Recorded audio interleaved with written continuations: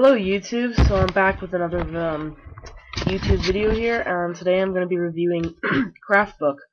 So if you don't know what Craftbook is, Craftbook is like a plugin for your Bukkit server, and it allows you to do lots of different things. Just watch here, this is called the Cauldron, and you can customize the recipes in the config file for recipes, Craftbook recipes.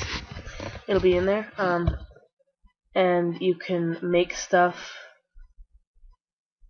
For example, here I'm just going to make two pieces of grass by putting two saplings on three pieces of dirt and right clicking with my hand.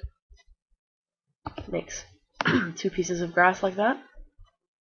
Next one over here is the light switch.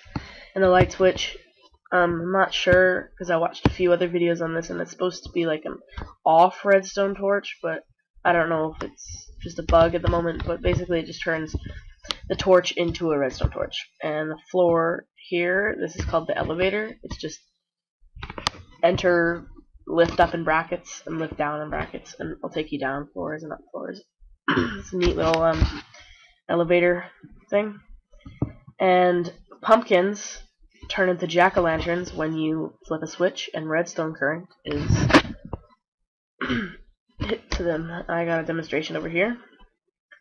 It turns the jack it turns the pumpkin on into a jack-o'-lantern and off back into a pumpkin.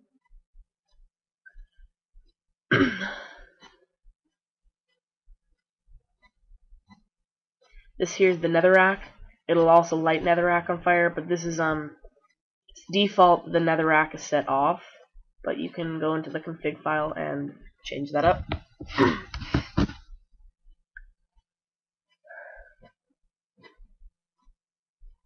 The next one here is the bridge, which is just bridge in brackets. I totally failed there and fell into the lava, but um, right click on it and it creates a bridge across cobblestone, and then right click again, and it it's like pistons, but without all the hard work. This here is just a demonstration of the jack-o'-lantern and the netherrack at night. Something that it may look like inside your house or something may look like that.